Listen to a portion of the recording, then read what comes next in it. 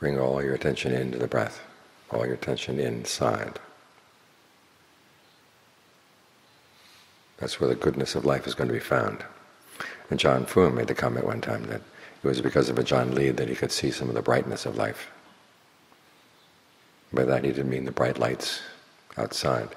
He meant the brightness of a well-trained mind. A mind where you have some control over what you're going to think. And you think in ways that are actually helpful. You don't give in to moods, you don't give in to thoughts that are going to be destructive or harmful. When the mind is trained that way, then, as the Buddha said, you have a mainstay that's hard to find. Because look at this world. You're born into the world, you hope to depend on your parents, but you can't depend on your parents all the time. You hope to depend on your own body, but it begins to turn traitor. It'll do things for you for a while, and then it suddenly decides it's not going to do them.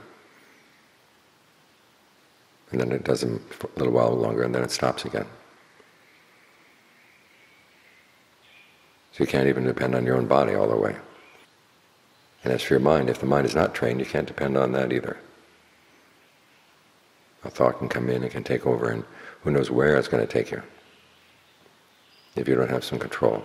So we need to exert some control over our thoughts, bring them to the breath, make sure they keep coming back, coming back, coming back. And think good things about the breath, things that are useful. In this way, as you begin to learn how to depend on your own mind, the fact that you can't depend on the world outside becomes a lot less of a burden. You realize that you were looking for security in the wrong place.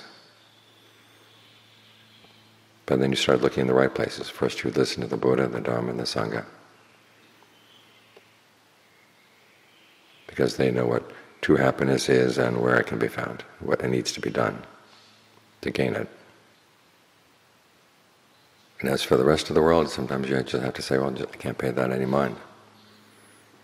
Because if I pay mind to that, it's going to pull me into its craziness. As Ajaan Fuang once said, if you follow the world, you, you start being stupid like the world.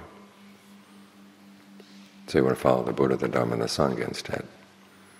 And that way you get to a point where you don't have to follow anybody. You become independent because you really can depend on yourself. So that's where we're headed.